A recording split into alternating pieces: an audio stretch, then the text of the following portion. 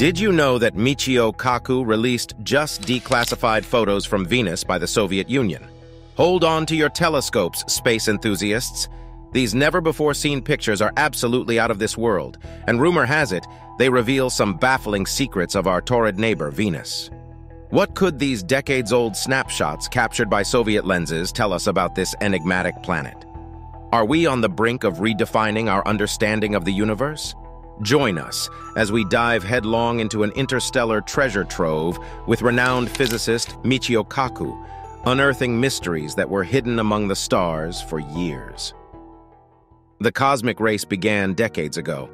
When we look back to the Cold War period, which started soon after the end of World War II and stretched into the 1980s, it's impossible to ignore the space race that was happening between the United States and the Soviet Union. Both superpowers were locked in a kind of competition, each trying to prove their superiority not only in military and political aspects, but also in technological and scientific fields. The frontier of space exploration became one of the main battlegrounds for this rivalry.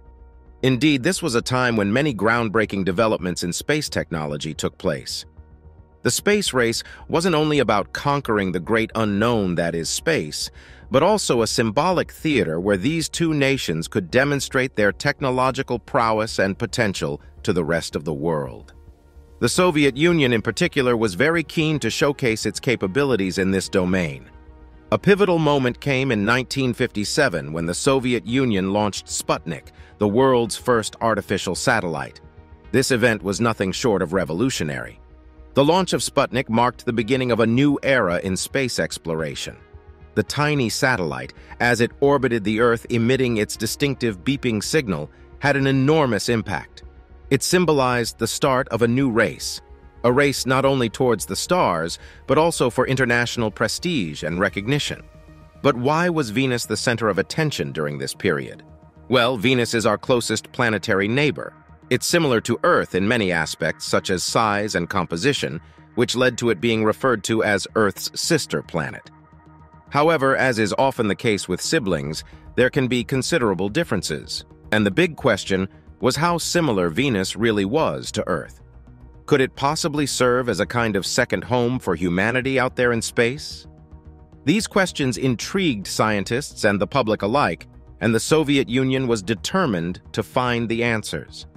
Then began the era of Venera missions, the Soviet Union, in particular, launched a series of spacecraft called Venera to explore Venus.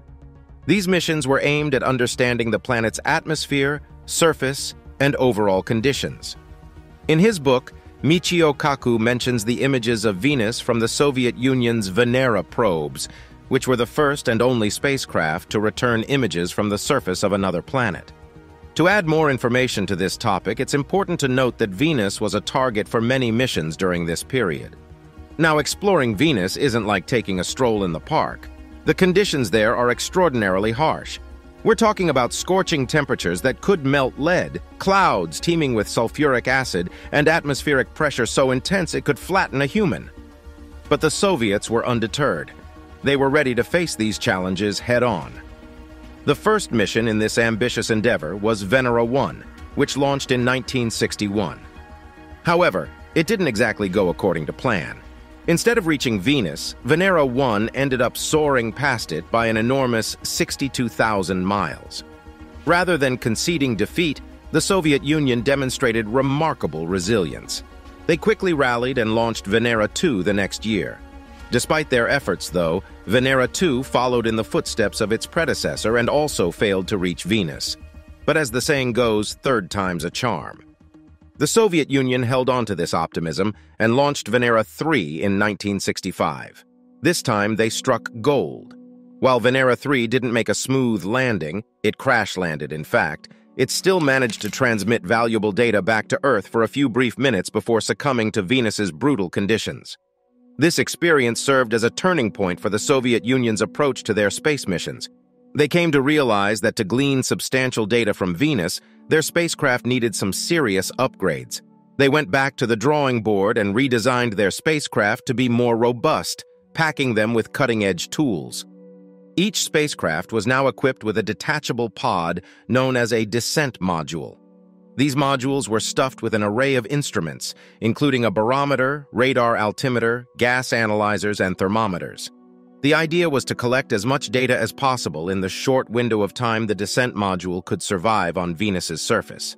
Now, let's circle back to the intriguing part of your question. What did the Soviets discover on Venus that they kept hidden? To answer that, we might need to delve into more historical data, examine the records of the subsequent Venera missions, and perhaps look at declassified Soviet space program documents. You see, the Venera missions didn't stop at Venera 3. The Soviet Union pushed forward with the next mission, Venera 4, and this one was a game changer. The craft managed to make it all the way to Venus's surface. But it wasn't just the fact that it landed that made this mission notable. It was what it discovered when it got there. Venera 4 found that Venus's atmosphere was absolutely packed with carbon dioxide. Now you might be wondering why that's significant.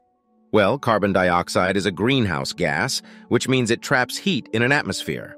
With such a high concentration of carbon dioxide, it's no surprise that Venus has such high surface temperatures. We're talking up to 864 degrees Fahrenheit, which is hotter than the surface of Mercury, the closest planet to the Sun. This discovery was instrumental in understanding the climate and geology of Venus. And given the similarities between Earth and Venus, this discovery also gave us a glimpse into a possible future scenario for our planet, if greenhouse gases continue to accumulate in our atmosphere. In a way, Venus serves as a stark warning for Earth about the devastating effects of greenhouse gas accumulation. But the revelations didn't stop there. In addition to the carbon dioxide-rich atmosphere, Venera 4 also discovered that Venus lacks a global magnetic field. On Earth, we're protected by our magnetic field. It shields us from harmful solar winds and radiation. Without it, life as we know it would cease to exist. The fact that Venus doesn't have a similar magnetic field suggested that life, at least as we understand it, might not be possible there. This was a major insight into the formation and evolution of planetary magnetic fields and contributed to our understanding of the habitability of other planets in our solar system and beyond. So, with each mission and every piece of data gathered, we were getting closer to understanding not just Venus, but our own planet and the wider universe. These Venus missions were more than just feats of engineering and space travel. They were journeys of discovery that were deepening our knowledge of the cosmos. Sadly, Venera 4's mission was cut short. After about 90 minutes of data collection, the harsh conditions of Venus took their toll. The probe disappeared into the dense atmosphere of the planet, where the extreme heat and pressure rendered it inoperable. But those 90 minutes were far from wasted. The data collected was invaluable, giving us a unique insight into this mysterious planet. So, after the promising success of Venera 4, two more probes, Venera 5 and Venera 6, were launched towards Venus in 1969. These spacecraft were designed to be sturdier than their predecessor and were loaded with state-of-the-art scientific instruments to gather more precise atmospheric data. Venera 5 was launched on January 5, 1969. It had a similar mission profile as Venera 4, to plunge into Venus's atmosphere and gather data during its descent. As Venera 5 entered the Venusian atmosphere, it released a capsule containing a suite of scientific instruments. For 53 minutes, while the probe descended under its parachute, it transmitted valuable data back to Earth. This probe measured the chemical composition of Venus's atmosphere, the distribution of oxygen and hydrogen, the density of the atmosphere at altitude, and atmospheric lighting and temperature. Now, moving on to Venera 6, it was launched just five days after Venera 5, on January 10, 1969. Similar to Venera 5, it was equipped with instruments to study cosmic particle streams, determine the distribution of oxygen and hydrogen in the atmosphere, measure atmospheric pressure, determine the chemical composition and density of the atmosphere, and measure the atmospheric temperature. Venera 6 made its descent into the Venusian atmosphere on May 17, 1969, a day after Venera 5. During its descent, Venera 6 transmitted data back to Earth for 51 minutes. Although its photometer failed to operate, it was able to provide data on the Venusian atmosphere at 2 bars and 10 bars pressures. Both Venera 5 and Venera 6 were designed with smaller parachutes, given the dense atmosphere of Venus. This ensured that the capsules would reach their full crush depth before running out of power. The data from these missions reinforced the findings of Venera 4, confirming the high temperatures, pressures, and carbon dioxide composition of Venus's atmosphere. This made it pretty clear that Venus was not a hospitable place for life as we know it. And then came Venera 7 and Venera 8. They were part of the Venera series of probes aimed at exploring Venus, and they sent back some really important data to us here on Earth. Venera 7, which was launched back in August 1970, was a pretty groundbreaking mission. It was the first spacecraft to achieve a successful soft landing on another planet and transmit data back to Earth. The probe was designed with high pressure and temperature endurance, considering the harsh conditions on Venus. It was equipped with a bunch of sensors to measure temperature, pressure, and atmospheric density, along with an accelerometer and a radar altimeter. The journey to Venus took some time, and a couple of course corrections were made during the flight using the onboard engine. When it reached Venus in December of the same year, it had to enter the Venusian atmosphere. The entry was a bit tricky. The lander stayed attached to the bus during the initial stages of atmospheric entry to keep it cool for as long as possible. After it was ejected, the parachute opened but started to fail later, resulting in a more rapid descent than planned. This led to the lander hitting the surface at about 59 kilometers per h. Now, you'd think that was a mission failure, right? Well, not quite. Although the probe seemed to go silent upon impact, the recording tapes kept rolling, and a few weeks later, another 23 minutes of very weak signals were discovered on them. This meant that Venera 7 had indeed landed on Venus, even if it did bounce onto its side and aim the antenna wrongly for proper signal transmission to Earth. In its short time on the surface, the probe managed to send back data for about 20 minutes, it recorded a surface temperature of around 887 degrees Fahrenheit and estimated a pressure of about 1,300 psi.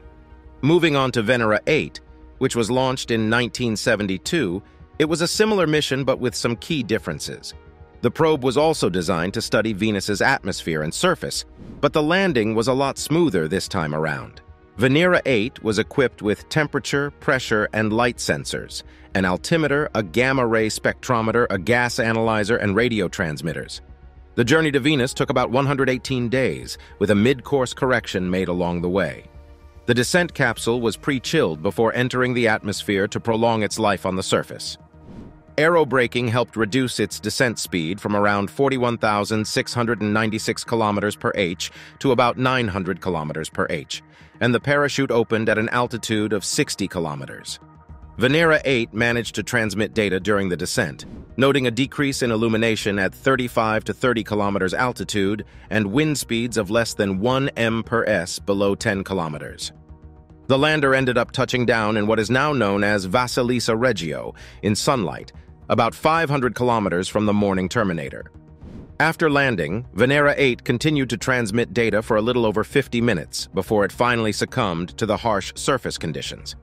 It confirmed the high surface temperature and pressure data returned by Venera 7 and also measured the light level, finding it suitable for surface photography. The light level was comparable to an overcast day on Earth with about one kilometer visibility. Additionally, Venera 8's photometer measurements showed for the first time that the clouds on Venus end at a high altitude, and the atmosphere is relatively clear from there down to the surface. The onboard gamma-ray spectrometer also measured the ratio of uranium, thorium, and potassium in the surface rock, indicating that it was similar to alkali basalt. Both these missions, Venera 7 and Venera 8, brought about significant advancements in our exploration of Venus. Despite the challenges, including a less than perfect landing by Venera 7, the Soviets didn't back down. They analyzed the failures, learned from them, and used those lessons to refine their future missions.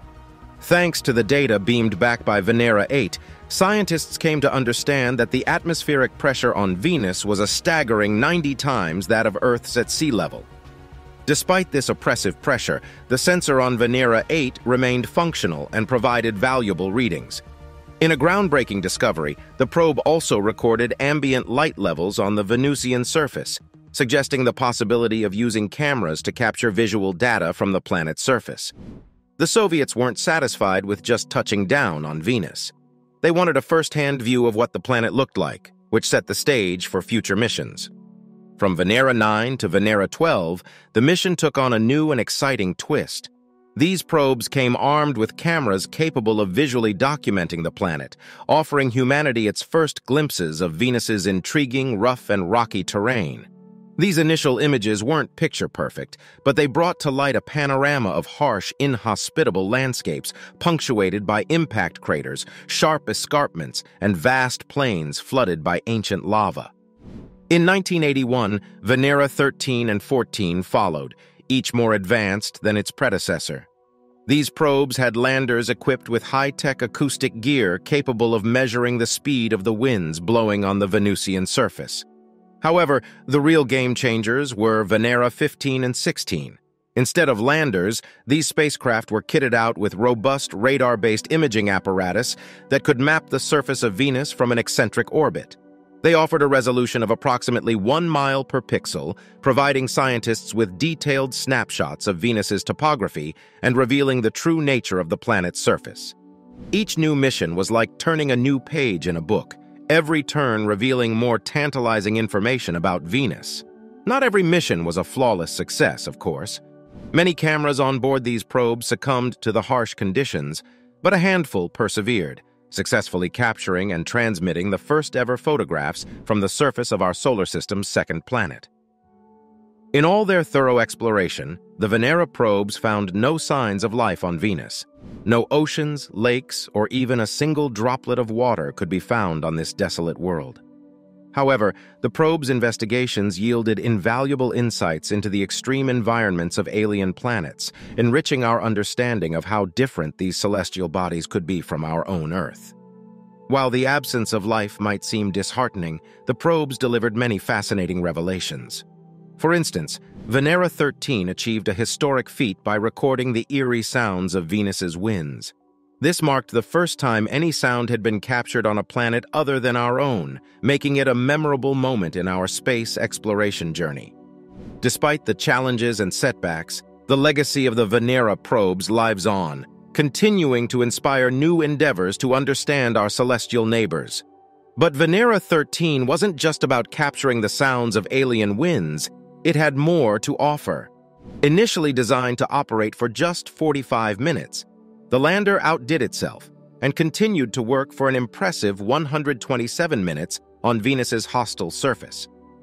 Throughout this extended operational period, it managed to capture and send back stunning color photographs of the planet, unveiling an austere and desolate terrain unlike anything we'd previously observed.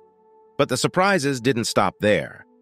Venera 13 also dug into the Venusian soil, or regolith, and analyzed a sample, this marked the first time humanity had analyzed the composition of another planet's soil.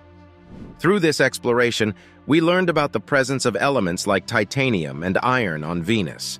It's truly amazing that we could gain such deep insights about a planet situated over 100 million kilometers away from us, especially considering that this took place in the 1980s.